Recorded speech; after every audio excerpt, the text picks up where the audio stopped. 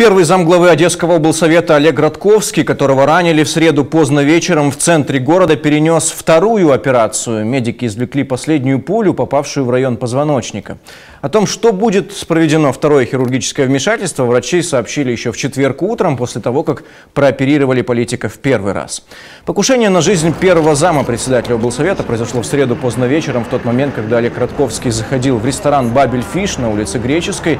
По данным полиции, преступник выпустил в политика четыре пули. Три из них попали а, в позвоночник, руку и ногу. Стрелок воспользовался мелкокалиберным пистолетом системы Марголина. С места происшествия он скрылся, но его машину успели зафиксировать очевидцы. Преступника объявили в розыск. Мотивом преступления могла стать коммерческая деятельность Олега Радковского. Он довольно известный в регионе бизнесмен, долгое время занимался строительством жилых домов.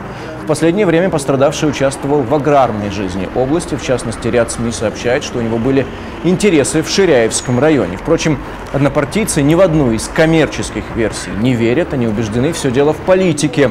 Олег Радковский представляет оппозиционный нынче блок Юлии Тимошенко. Отмечу, репортер уже несколько дней пытается лично пообщаться с пострадавшим, но пока нам это не удается. Первый замглавы облсовета и до этих событий был человеком непубличным.